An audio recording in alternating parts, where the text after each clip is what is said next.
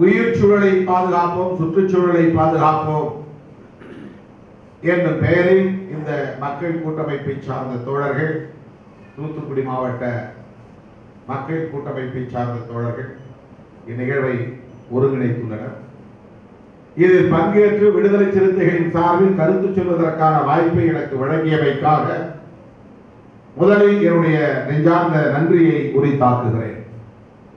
இரண்டு நாட்களுக்கு முன்பு நான் ரஷ்யாவுக்கு செல்ல வேண்டிய ஒரு வாய்ப்பு கிட்டியது. ஒரு வாரம் அங்கே தங்கியிருக்க வேண்டும் என்கிற அளவுக்கு தோழர்கள் கேட்டுக்கொண்டார்கள். ஆனாலும் நான் இந்த நிகழ்வுக்கு ஒப்புதல் தந்த நிலையில் கட்டாயம் வந்தே ஆக வேண்டும் என்கிற ஒரு உணர்வின் முதுகலாம் இரண்டே நாளில் அந்த பயணத்தை நான் சுருக்கிக் கொண்டு இங்கு வந்து உங்கள் முன்னால் நின்று கொண்டிருக்கிறேன். இன்னொரு முறை கூட ரஷ்யாவுக்கு செல்லலாம். ஆனால் இந்த நிகழ்வில் கட்டாயம் பங்கேற்க வேண்டும். அதுவும் நம்முடைய வேதா பட்கர் அவர்கள் பங்கேற்கிற நிகழ்வு. தோழமை இயக்கங்களின் தலைவர்கள் பங்கேற்கிற நிகழ்வு. இதில் பங்கேற்க வேண்டும் என்கிற பேராவலோடு உங்கள் முன்னால் வந்து நிற்கிறேன். இந்த வாய்ப்புக்கு மீண்டும் ஒரு முறை நன்றியை உரித்தாக்குகிறேன் எனக்கு முன்னர் பேசிய தலைவர்கள் மேதா உட்பட நாம் என்ன செய்ய வேண்டும்? நம்முடைய எதிர்காலம் என்னவாக இருக்கிறது? எப்படி நாம் ஒருங்கிணைந்து செயல்பட வேண்டும் என்பது குறித்து நம்முடைய கருத்துக்களை நம்மோடு பகிர்ந்துள்ளனர். அந்த அடிப்படையில் முதலில் நான் ஒரு வேண்டுகோளை வைக்க கடமைப்பட்டிருக்கிறேன். இந்த ஸ்டெர்லைட் எதிர்ப்பு களத்தில் நின்று போராடி கொண்டிருக்கிற தோழர்கள் முதலில் ஒருங்கிணைய வேண்டும் ஒரே அமைப்பாக மாற வேண்டும் என்ற வேண்டுகோளை வைக்க நான் கடமைப்பட்டிருக்கிறேன். அன்பு சகோதரி பாத்திமா அவர்களின் தலைமையில் ஒரு அமைப்பும் அரிராகவன் தலைமையில் ஒரு அமைப்பும். இந்த ஸ்டெர்லைட் எதிர்ப்பு தூத்துக்குடி மாவட்ட மக்கள் கூட்டமைப்பு என்கிற இந்த அமைப்பும் ஒரே நோக்கத்திற்காக மக்கள் நலனுக்காக சுற்றுச்சூழல் பாதுகாப்புக்காக உயிர் சூழல் பாதுகாப்புக்காக போராடி கொண்டிருக்கின்றன என்பதை நாம் அறிவோம். அரசு பயங்கரவாதத்தை எதிர்த்து போராடி கொண்டிருக்கிற அமைப்புகள் என்பதை நாம் அறிவோம்.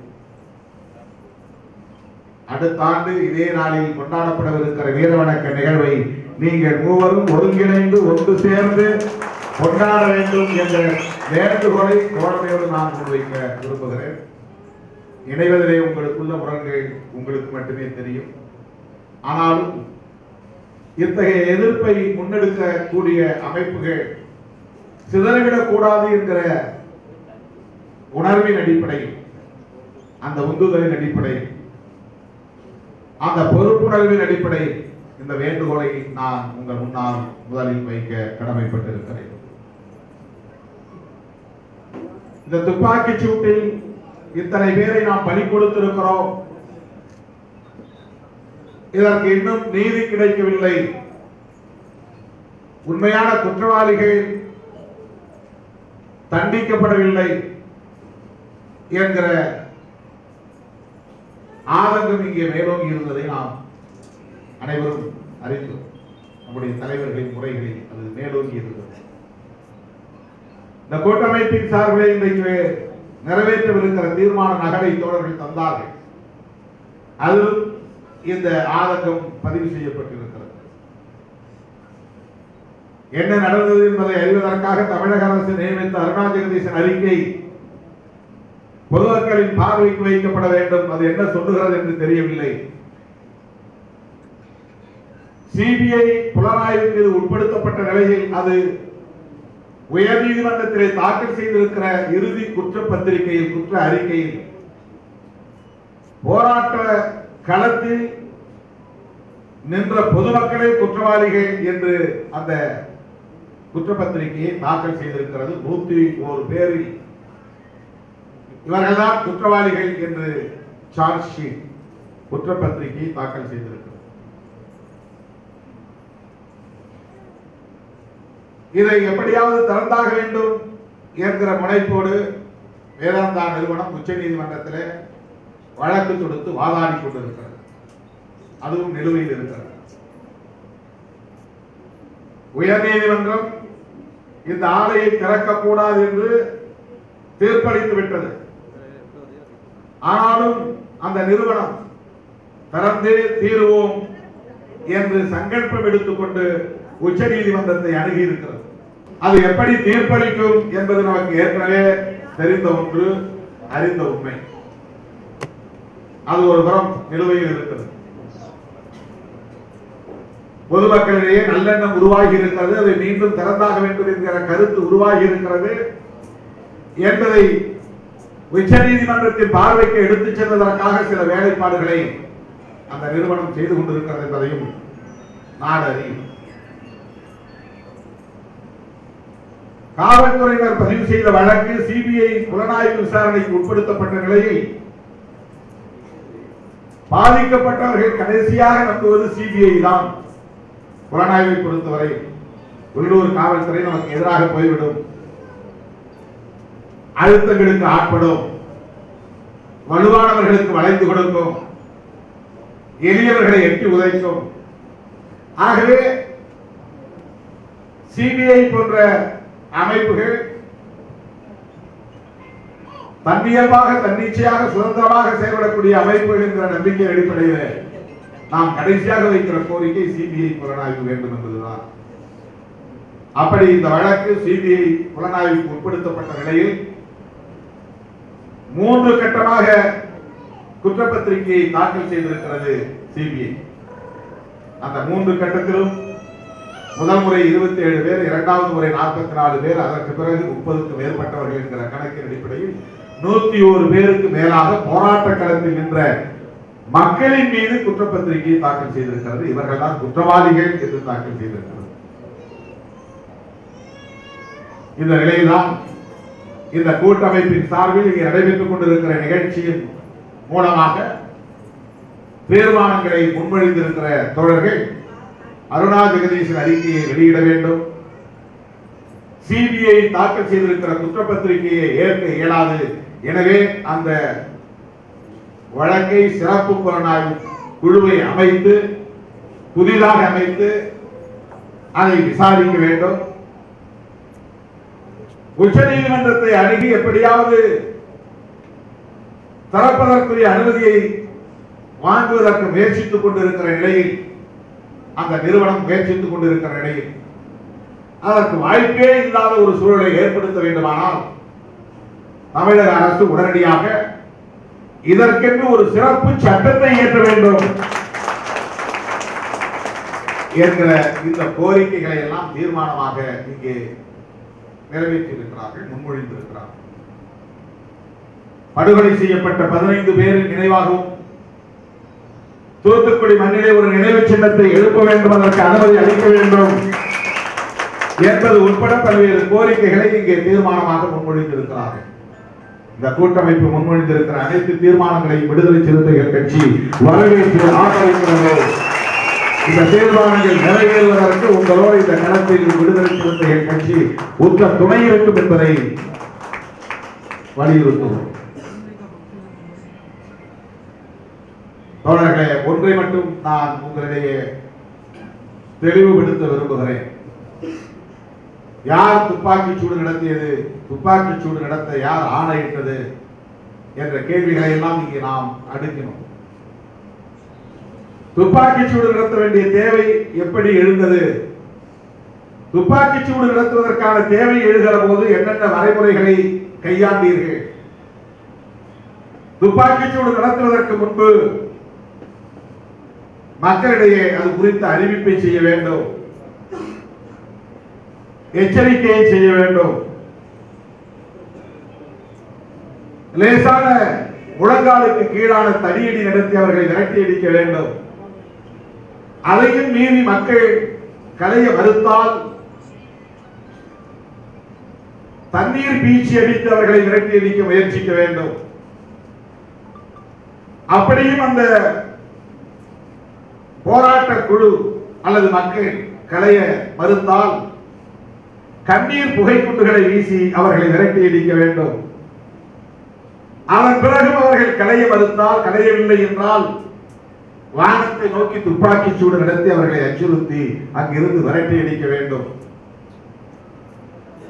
அதையும் மீறி அவர்கள் கலையாமல் அங்கேயே திரண்டு நின்றால் போராட்டத்தை தீவிரம் காட்டினால் முழங்காலுக்கு கீழே துப்பாக்கியால் சுடலாம். அப்படி சு- சுடுகிற தேவை இருந்தால் திருநாட்களை ரைபிள் தான் பயன்படுத்த வேண்டும். வேறு எந்த துப்பாக்கியும் பயன்படுத்தக்கூடாது இவை போன்ற எண்ணற்ற வரையறைகள் சட்டத்தில் இடம்பெற்றிருக்கின்றன இவற்றை இந்த விதிமுறைகளை இந்த வழிகாட்டுதல்களை காவல்துறை பின்பற்றியதா? இதில் வருவாய்த்துறையின் பாத்திரம் என்ன? இவ்வளவு பெரிய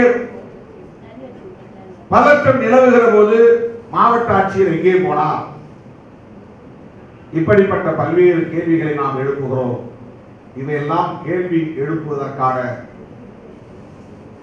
வாய்ப்பாக மட்டும்தான் நாம் கருத முடியுமே தவிர அரச பயங்கரவாதம் தலை தூக்குகிற போது இந்த கேள்விகளுக்கு விடையே இல்லை.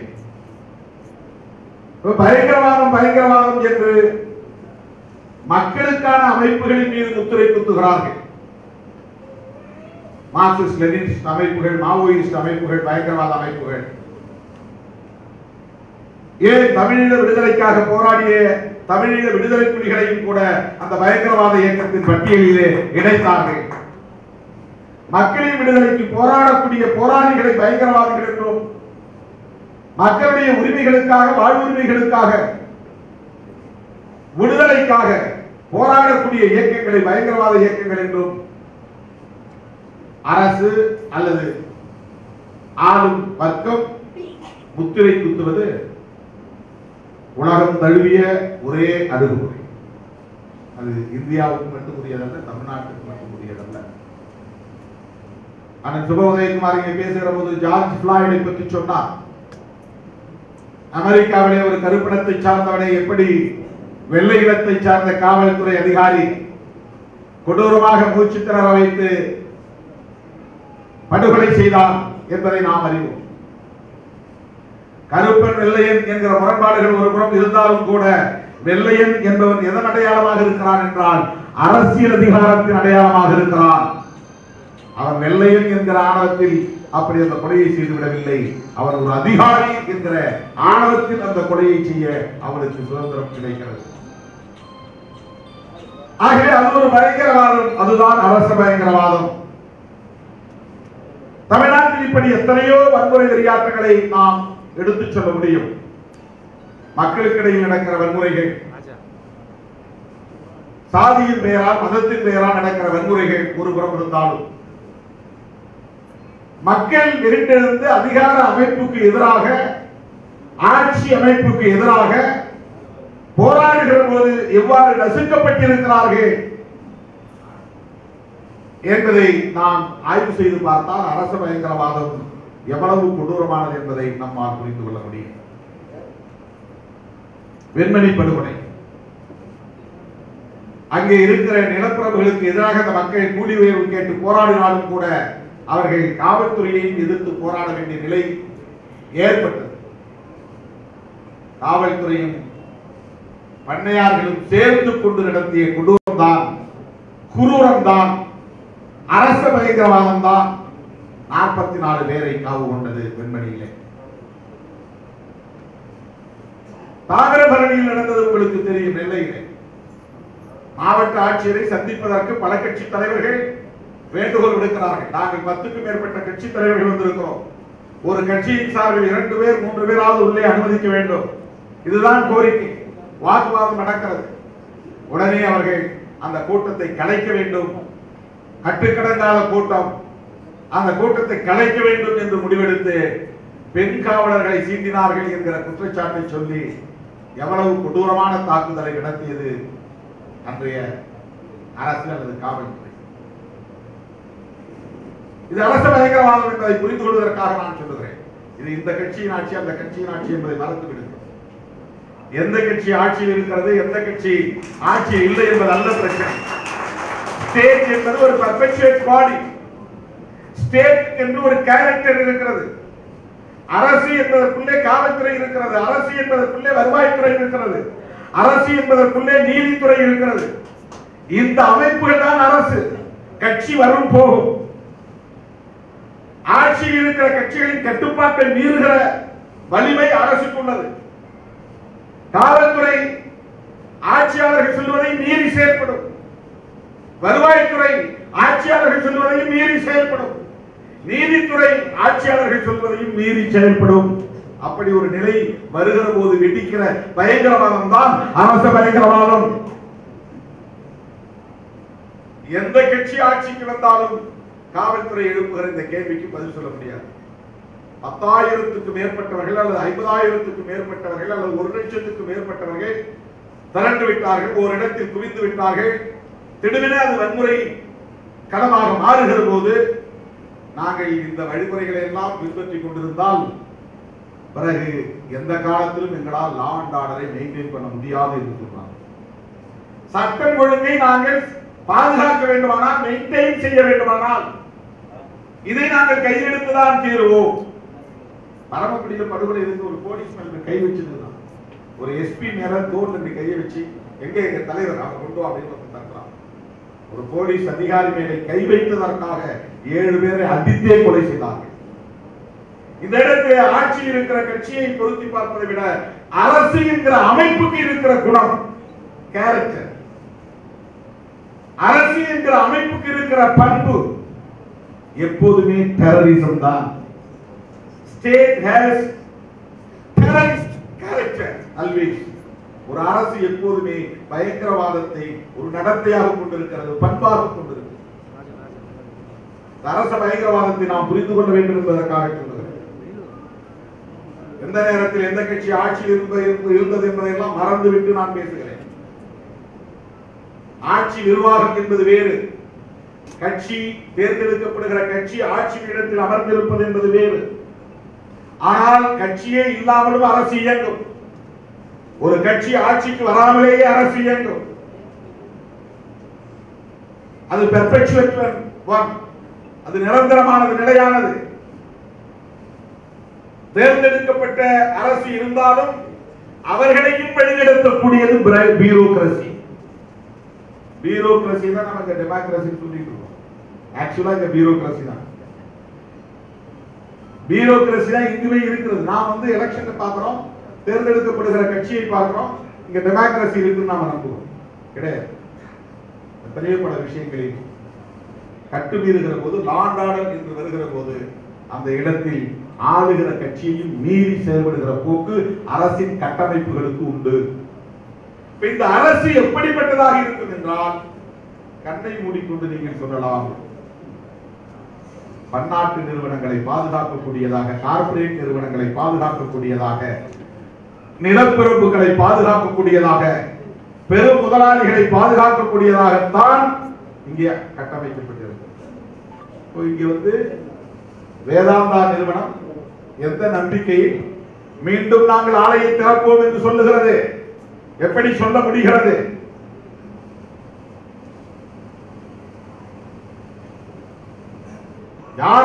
யார் யார் முதல்வர் என்பது அல்ல. அரசு என்பதே அவர்களுக்கானது அவர்களின் நலன்களுக்கானது. அடிப்படை உண்மையை நாம் புரிந்து கொள்ள வேண்டும். இந்த புலிகளில் இருந்துதான் நம்முடைய போராட்டம் என்பது தொடங்க வேண்டும். கட்சி சார்பு அடிப்படையில் அல்ல.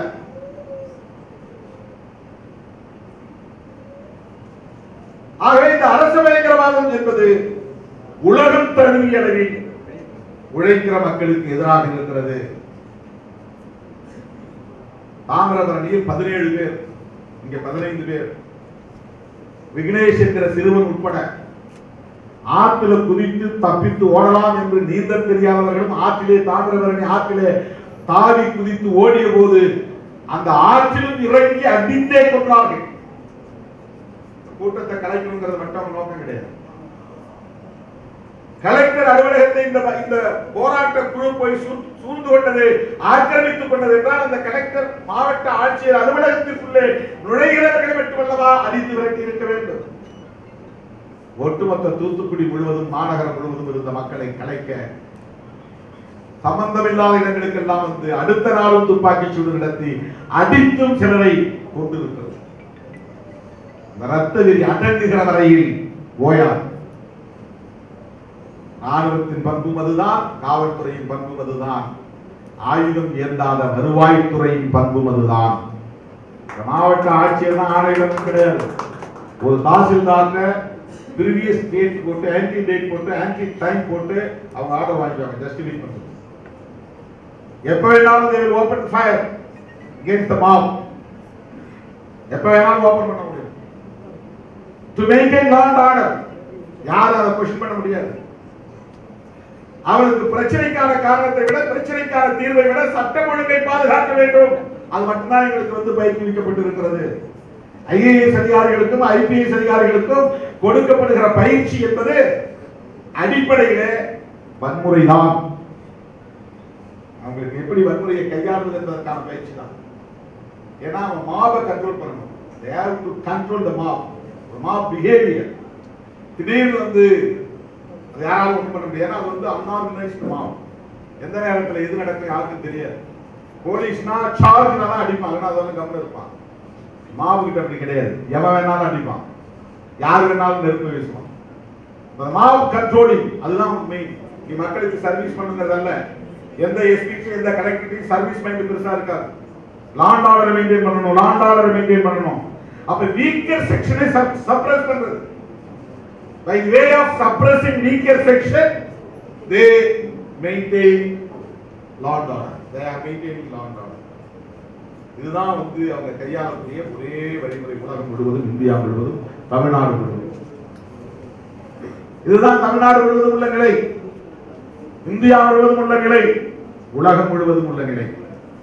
அப்ப போராடக்கூடிய தோழர்கள் போராட்ட குழுவுக்கு தலைமை தாங்கக்கூடிய தோழர்கள் இதையெல்லாம் நெஞ்சிலே இருத்தி ஸ்ட்ராட்டஜிஸ் நாம லூஸ் பண்ணக்கூடாது. உயிரை இழக்கக்கூடாது. என்ன பெரிய வியப்பு என்றால் போராட்டம் அறிவிக்கப்பட்டு நடக்கிறது. நூறு நாள் போராட்டம் என்று அறிவிக்கப்பட்டு நடக்கிறது. ஒரு நாள் இரண்டு நாள் மூன்று நாள் ஐம்பது நாள் தொண்ணூறு நாள் நூறு நாள் என்று தொடர்ந்து மூன்று மாத காலத்திற்கு மேலாக நடக்கிறது. இந்த நூறு நாட்களில் ஒரு நாள் கூட வருவாய்த்துறையை சார்ந்த அதிகாரிகளோ காவல்துறையை சார்ந்த அதிகாரிகளோ போராட்ட குழுவை சார்ந்தவர்களை அழைத்து பேசவில்லை. இது மிகப்பெரிய அதிர்ச்சியாக இருக்கு ஏன்? இவர்கள் இதற்கு ஒரு முடிவை காண வேண்டும் என்றால் அமைதியாக முடிக்க வேண்டும் என்று எண்ணியிருந்தால் நல்லிணக்கமாக இதை முடிவுக்கு கொண்டு வர வேண்டும் என்று எண்ணியிருந்தால் ஐம்பதாவது நாள் பேசியிருக்கலாம் அறுபதாவது நாள் பேசியிருக்கலாம் எழுபதாவது நாள் பேசியிருக்கலாம். எழுபதாவது நாளிலிருந்து தொடர்ந்து முதல் கட்ட பேச்சுவார்த்தை இரண்டாவது கட்ட பேச்சுவார்த்தை மூன்றாவது கட்ட பேச்சுவார்த்தை என்று தொடங்கி தொடர்ந்து இருக்கலாம் தொடங்கி இருக்கலாம் அவர்களுக்கு இருக்கிற நம்பிக்கை என்னவென்றால் பயங்கரவாத முத்திரையை குத்தி இவர்களை எல்லாம் ஒரு கட்டத்தில் விரட்டி அடித்து விட முடியும். சிதறடித்து விட முடியும். எல்லோரையும் விலைக்கு வாங்கி விட முடியும். அதிகாரிகளை விலைக்கு வாங்குவதை போல போராட்டக்காரர்களையும் விலைக்கு வாங்கிவிட முடியும். அதன் மூலம் சிதறடித்து விட முடியும் என்றுதான் காத்திருந்திருப்பார்கள். இல்லை என்றால் இவ்வளவு தூரம் அவர்கள் அமைதி காத்திருக்க முடியாது. ஆனால் இந்த நூறு நாள் தாக்கு பிடித்து பல்லாயிரக்கணக்கான மக்களை திரட்டி மிகப்பெரிய அளவிலான ஒரு வெகுமக்கள் போராட்டத்தை நடத்தி உலகின் கவனத்தை ஈர்த்த தூத்துக்குடி வட்டாரத்து மக்களை விடுதலை சிறுத்தைகள் கட்சியின் சார்பில் நான் பாராட்ட கடமைப்பட்டிருக்கிறேன். போற்ற கடமைப்பட்டிருக்கிறது நூறு நாள் எவராலும் விலை பேச முடியவில்லை. நூறு நாள் போராட்டம் யாராலும் செதறடிக்க முடியவில்லை.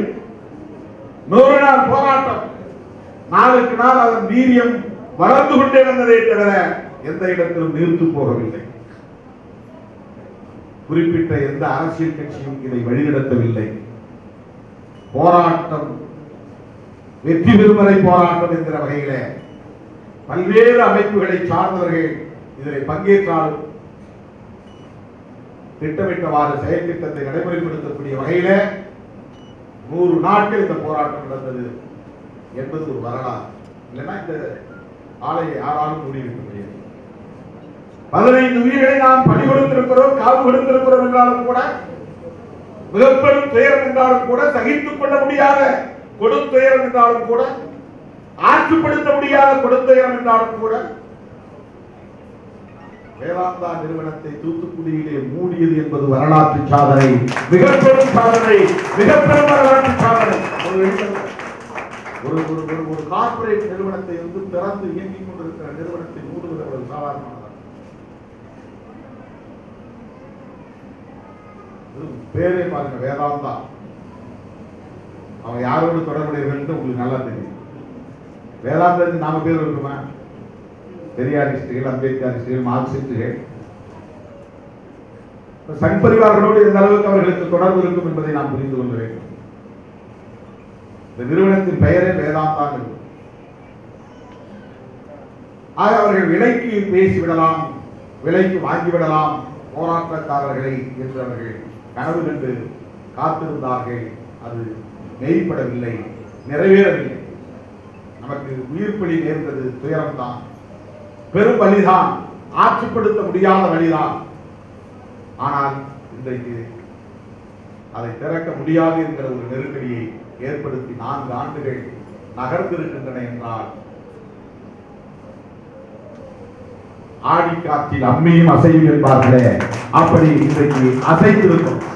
ஆடி காற்றாய் வெகுண்டெழுந்து சூறாவளி காற்றாய் வெகுண்டெழுந்து போராடியதன் விளைவாக அம்மியும் ஆடி பறக்கும் வேதாந்தா நிறுவனம் வேறொரு சாயும் என்பதை மக்களின் போராட்டம் இங்கே மெய்ப்பித்து காட்டுகிறது ஆகவே காலமெல்லாம் நாம் வீர வணக்கம் செலுத்த வேண்டிய வணங்க வேண்டிய போராளிகளாக என்கிற முன்னால் படங்களில் அமர்ந்திருக்கிற தோழர்கள்.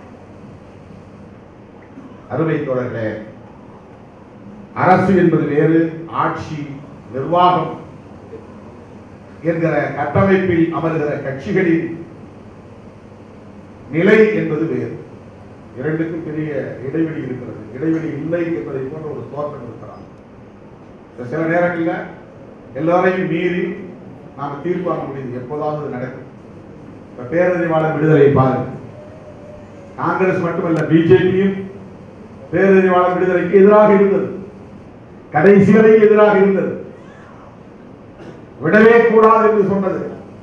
அதையும் மீறி அரசமைப்பு சட்டம் நூத்தி நாற்பத்தி இரண்டாவது உறுப்பின்படி தன்னிச்சையாக நாங்கள் எங்கள் அதிகாரத்தை பயன்படுத்தி பேரறிவாளரை விடுதலை செய்கிறோம் என்று உச்சநீதிமன்றம் விடுதலை செய்திருக்கிறது.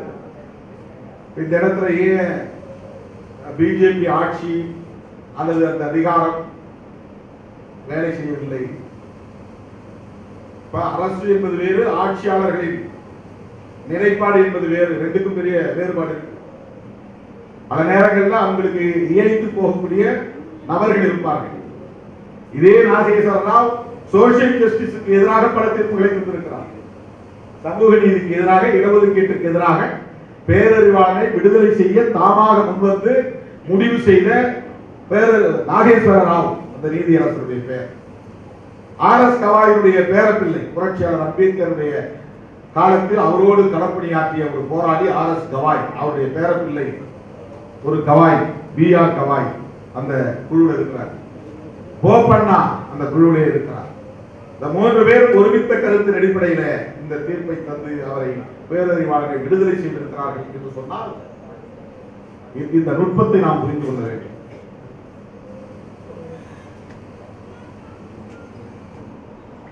ஆகவே அரசு அரசு கட்டமைப்பு அரசின்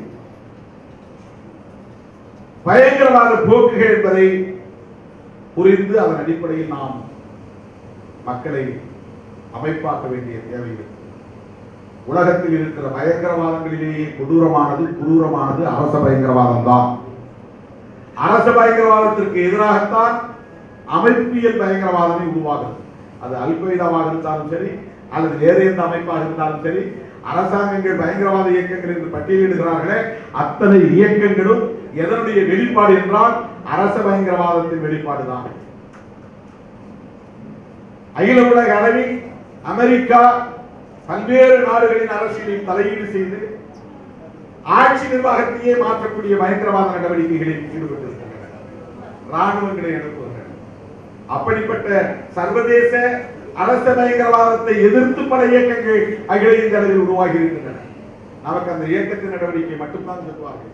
அந்த இயக்கங்கள் தோன்றுவதற்கான பின்னணியை யாரும் சொல்லுவதில்லை. எனவே தூத்துக்குடியில் நடந்திருப்பது ஒரு அரச பயங்கரவாதம். இந்த அரச பயங்கரவாதத்தை எதிர்கொள்வது இயலாதா என்றால் ஒன்றுபட்டு செயல்படுகிற போது இதையும் நம்மால் எதிர்கொள்ள முடியும் வீழ்த்த முடியும். பாருங்க தூக்கு கொடுத்துட்டாங்க கொடுத்துட்டான் ஒண்ணும் பண்ண முடியாது அப்படின்னு அற்புதமா சோர்ந்து போயிருந்தால் பேரறிவாளனை காப்பாற்ற முடியுமா? விசாரணை நீதிமன்றம் இருபத்தி ஆறு பேருக்கு தருகிறது தூக்கு தண்டனை. அப்பலேட் அத்தாரிட்டி மேல்முறையீட்டு நீதிமன்றத்துல பத்தொன்பது பேர் விடுதலை என்று எடுத்த எடுப்பிலேயே தீர்ப்பிருக்கிறார் அவன் குற்றமற்றவர்கள் நிரபராதிகள். அப்ப விசாரணை நீதிமன்றத்துடைய தீர்ப்பு அப்படியே அக்செப்ட் பண்ணிட்டு போயிருந்தா என்ன ஆயும் இந்த பத்தொன்பது பேருடைய நிலை. மேல்முறையீட்டு நீதிமன்றத்தில் பத்தொன்பது பேர் விடுதலை செய்யப்படுகிறார்கள் ஏழு பேர் மட்டும் தூக்கு தண்டனை. பிறகு நளினியின் மீது கருணை அடிப்படையில் தூக்கு தண்டனை ரத்து செய்யப்படுகிறது. ஆறு பேர் என்ற நிலையில் சதாசிவம் அருகே நீதிபதியாக இருந்தபோது தொடுக்கப்பட்ட வழக்கிலே அவர் அவர்கள் மீதான தூக்கு தண்டனையை ரத்து செய்கிறார் ஆயுத தண்டனையாக மாறுகிறது. ஆயுத்த நிலையான பிறகு ஆயுத்த நிலை கைதிகளை விடுதலை செய்யலாம் அதற்கு அரசியலமைப்பு சட்டம். புரட்சியாளர் அம்பேத்கர் அவர்கள் வகுத்தளித்திருக்கிற அரசியலமைப்பு சட்டம். நூத்தி அறுபத்தோராவது உறுப்பின்படி ஆளுநருக்கு அதிகாரம் வழங்குகிறது என்பதை கண்டுபிடித்து நாம் உள்ளே நுழைகிறோம். இதுதான் சட்ட ரீதியாக போராடுகிற வலிமை அமைப்புகளுக்கு தேவை. சோர்வடைந்து விடக்கூடாது. அரச பயங்கரவாதத்தை கண்டு பின்வாங்கி விடக்கூடாது அரசு வலிமையானது என்று பின்வாங்கி விடக்கூடாது வேதாந்தா நிறுவனம் பெரிய கோடீஸ்வர கம்பெனி. அதை நாம் எதிர்க்க முடியாது என்று பின்வாங்க கூடாது எவ்வளவு வலிமிக்க சக்திகளையும் மக்கள் போராட்டம் தகர்த்தியதையும் தவிர்வழி ஒரு முறைக்கு இரண்டு முறை தூக்கு தண்டனை தீர்- தீர்மானிக்கப்பட்ட பிறகு உறுதிப்படுத்தப்பட்ட பிறகு மறுபடியும் மறுபடியும் சட்டப்பூர்வமான போராட்டத்தின் வழியாக தூக்கு தண்டனை ரத்து செய்ய பெற்று ஆயுள் தண்டனை கைதிகளாக மாறிய பிறகு ஆயுள் கைதிகளாக முப்பது ஆண்டுகளுக்கு மேலாக இருப்பது சரியல்ல. அவர்களை விடுவிக்கக்கூடிய அதிகாரம் எல்லா சராசரி ஆயுள் கைதிகளை விடுவிப்பதைப் போல இவர்களை விடுவிக்கலாம் என்கிற group four article one sixty one ஆளுநருக்கு அந்த அதிகாரத்தை தருகிறது. அவர் முடியாது. காங்கிரஸ் ஆட்சி காலத்திலும் சரி அல்லது பிஜேபி ஆட்சி காலத்திலும் சரி ஆளுநர்கள் அப்படித்தான் இருப்பார்கள். இந்த இடத்துல நீங்க அரசுன்னு பார்க்கணும் ஆட்சிங்கிறது இருக்கு. அரசு அரசின் பிரதிநிதி தான் ஆளுநர் இப்ப அந்த ஆளுநர்களாக இருந்தவர்கள் பன்வாரிலால் புரோஹித் என்ன முடிவெடுத்தாரோ அதைத்தான் இன்னைக்கு இருக்கிற ரவி அவர்கள் எடுத்தார். இதுவரையில் பதினைந்துக்கும் மேற்பட்ட மசோதாக்கள் சட்ட மசோதாக்கள் நிறைவேற்றப்பட்டு ஆளுநருக்கு அனுப்பி வைக்கப்பட்ட நிலையில் அது குடியரசுத் தலைவருக்கு ஒப்புதலுக்கு அனுப்பி வைக்கப்படுது இப்போ இந்த இடத்துல கட்சி சார்ந்த நிலைப்பாட்டை ஆளுநர் எடுத்தார். ஆனால் தேர்ந்தெடுக்கப்பட்ட ஒரு மக்கள் அரசு திமுக அரசு பெரும்பான்மை மக்களின் ஆதரவோடு பெரும்பான்மை கட்சிகளின் ஆதரவோடு பெரும்பான்மை உறுப்பினர்களின் ஆதரவோடு மசோதாக்களை சட்டமாக நிறைவேற்றி அனுப்புகிறது. ஆனாலும் அது சட்டமாக முடியும் எவ்வளவு பெரிய இந்த- இந்த இதுதான் சிஸ்டம் சிஸ்டத்தை புரிஞ்சு சிஸ்டத்துக்குள்ள இருக்கிற சிக்கல்களை புரிந்து கொள்ள வேண்டும். அந்த புரிதலின் அடிப்படையில் தான் நாம் போராட்டங்களை போராட்டங்களுக்கான வியூகங்களை கட்டமைக்க முடியும். மரண தண்டனை ரத்து செய்யப்பட்ட நிலையில் ஆயுள் தண்டனைக்கான கைதிகளை விடுவிக்க முடியும் என்கிற வாய்ப்பை பயன்படுத்தி தொடுக்கப்பட்ட வழக்கு என்னவாக போய் முடிகிறது என்றால் மாநில அரசு எடுத்த முடிவை அப்படியே ஏற்றுக்கொள்வது என்பதுதான் ஆளுநருக்கான அதிகாரம். அதுதான் ஆர்டிகிள் ஒன் சிக்ஸ்டி ஒன் சொல்லுகிறது. நீ அதை மறுக்கிறாய் என்றால் அரசமைப்பு சட்டத்தையே கேள்விக்குள்ளாக்குகிறாய் கேள்விதான் கான்ஸ்டிடியூஷன் பெரிதா அல்லது கவர்னர் பெரியாரா கவர்னர் மாநில அரசை அவமதிக்கிறாரா அல்லது கான்ஸ்டிடியூஷனை அவமதிக்கிறாரா? இந்த கேள்வி விடுவிக்கப்பட்டவர் தான் Perarivalan constitution is higher authority supreme authority நீ கான்ஸ்டிடியூஷன் அவமதிச்சிட்ட ரெண்டு ஆண்டுகள் காலம் தாழ்த்திட்ட. உனக்கு வந்து இதை குடியரசுத் தலைவருக்கு அனுப்புவதற்கான எந்த முகாந்திரமும் கிடையாது. மாநில அரசு அதுவும் அமைச்சரவையில் தீர்மானம் நிறைவேற்றப்பட்ட பிறகு அதுல முடிவெடுக்க வேண்டிய பொறுப்பு உன்னுடைய பொறுப்பு. நீயே காலம் தாழ்த்தினாய்? நீ வந்து கான்ஸ்டிடியூஷனை சேலஞ்ச் செய்கிறாய். இப்படித்தான் தோழர்களே நாம் வலிமை மிக்கவர்களை எதிர்கொள்ள முடியும் வீழ்த்த முடியும். எனவே போராட்ட களத்தில் இருக்கிற நாம் எதிரிகளுக்கு இடம் கொடுக்காமல் சிதறி போகாமல் ஒருங்கிணைந்து தொடர்ந்து போராட வேண்டிய தேவை இருக்கிறது. இன்றைக்கு சமூக நீதி அரசு தமிழகத்தில் மலர்ந்திருக்கிறது இங்கே ஸ்டெர்லைட் ஆலையை தமிழக அரசை மீறி திறக்க முடியாது என்பதை நாம் அறிவோம். இது பொலிட்டிக்கல் வியூ அரசியல் பார்வை. ஆனால் சட்டத்தின் அடிப்படையில் அவர்கள் உச்ச நீதிமன்றத்தை அணுகியிருக்கிறார்கள் உச்ச நீதிமன்றத்தின் மூலம் அவர்கள் எந்த தீர்ப்பையும் வாங்க முடியும். அதற்கான சூழலும் இருக்கிறது. பேரறிவாளரை விடுதலை செய்த நாகேஸ்வரராவ் இடஒதுக்கீடு தொடர்பான வழக்கை தொடுத்தால் அதற்கு எதிராக தருவார். எனவே அப்படியே அதே மாதிரிதான் எல்லா நேரங்களிலும் ஒரு நீதியரசர் செயல்படுவார் என்று சொல்ல முடியாது. எனவே இந்த ஸ்டெர்லைட் ஆலையை தமிழ்நாட்டில் மீண்டும் திறப்பதற்கான வழக்கை உச்ச நீதிமன்றத்திலே இன்னும் நிலுவை வைத்திருக்கிறார்கள். அது நம் தலைக்கு மீது மேலே தொங்குகிற கத்தியை போன்றது. அந்த விவகாரத்தை தடுப்பதற்கு அதை தடுப்பதற்கு நாம் ஒருங்கிணைந்து போராட வேண்டிய தேவை இருக்கிறது. போராட்டம் முற்று பெற்று விடவில்லை.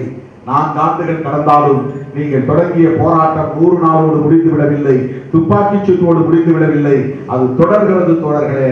அதற்கு நாம் ஒன்று சேர்ந்து போராட வேண்டிய தேவை இருக்கிறது என்பதை சொல்லி இந்த மூன்று அமைப்புகளும் விரைவில் ஒருங்கிணைய வேண்டும்.